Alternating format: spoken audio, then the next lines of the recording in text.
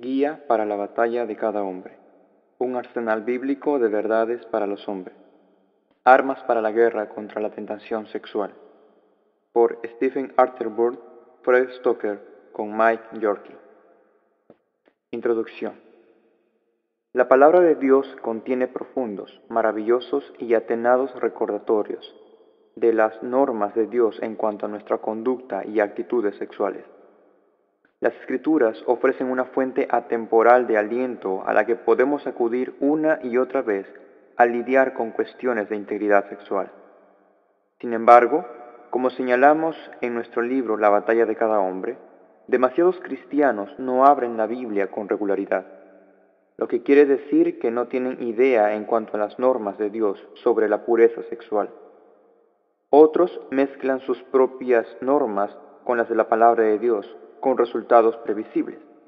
Vidas trastornadas, toneladas de dolores de cabeza y años de remordimiento que persisten como resfriado de primavera. La integridad sexual es un tema importante en la Biblia. ¿Sabes que en casi todos los libros del Nuevo Testamento se nos ordena evitar la impureza sexual? Los siguientes 14 pasajes del Nuevo Testamento, con las referencias a la inmoralidad sexual destacadas en negritas, demuestran el interés de Dios en nuestra pureza sexual.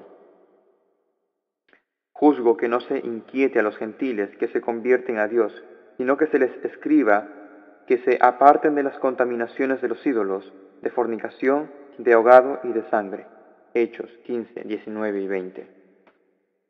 Desechemos, pues, las obras de las tinieblas y vistámonos las armas de la luz.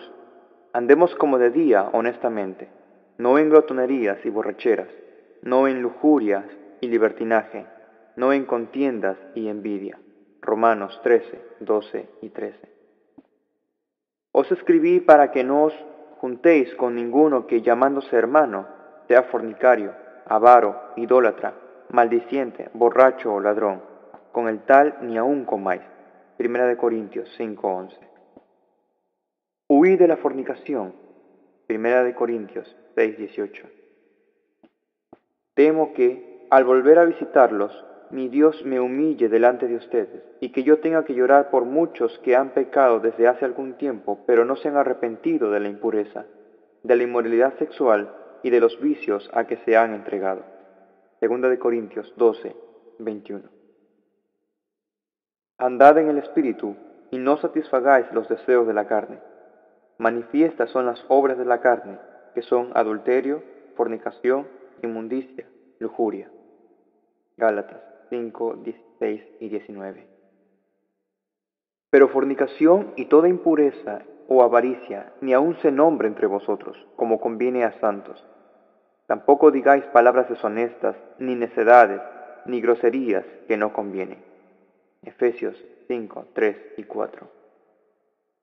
Haced morir, pues, lo terrenal en vosotros, fornicación, impureza, pasiones desordenadas, malos deseos y avaricia, que es idolatría. Por estas cosas la ira de Dios viene sobre los hijos de desobediencia. Colosenses 3, 5 y 6. La voluntad de Dios es vuestra santificación, que os apartéis de fornicación, que cada uno de vosotros sepa tener su propia esposa en santidad y honor no en pasión desordenada como los gentiles que no conocen a Dios. Primera de Tesalonicenses 4, 3 y 5. Que no haya ningún fornicario o profano, como Esaú, que por una sola comida vendió su primogenitura. Hebreos 12, 16.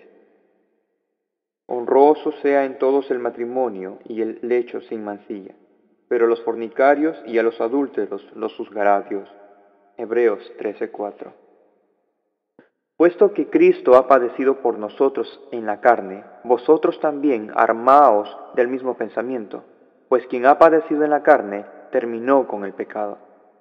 Baste ya el tiempo pasado para haber hecho lo que agrada a los gentiles, andando en lascivias, placeres, borracheras, orgías, disipación y abominables idolatrías. Primera de Pedro 4, 1 y 3 como y Gomorra y las ciudades vecinas, las cuales de la misma manera que aquellas, habiendo fornicado e ido en pos de vicios contra naturaleza, fueron puestas, por ejemplo, sufriendo el castigo del fuego eterno. Judas 1.7. Pero yo, Jesús, tengo unas pocas cosas contra ti, que tienes ahí a los que retienen la doctrina de Balaam, que enseñaba a Balac a poner tropiezo ante los hijos de Israel, a comer de cosas sacrificadas a los ídolos y a cometer fornicación. Apocalipsis 2.14. Qué interesante. 14 de los 27 libros del Nuevo Testamento están representados aquí, lo que indica la importancia que le da Dios a la cuestión de la integridad sexual. De esta serie de pasajes bíblicos podemos resumir las normas de Dios en las siguientes palabras. Santo y honorable evitar la inmoralidad sexual, porque la inmoralidad sexual es la naturaleza pecadora en acción. No debemos ni siquiera comer ni juntarnos con un cristiano que es sexualmente inmoral.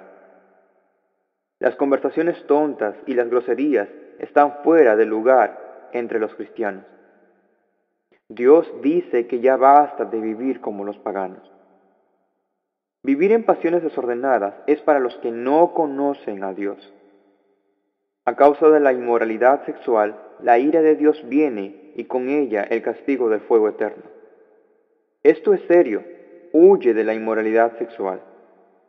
Si conduces a alguien a la inmoralidad sexual, tendrás a Jesús mismo en contra tuya. Está claro que Dios espera que vivamos conforme a sus normas.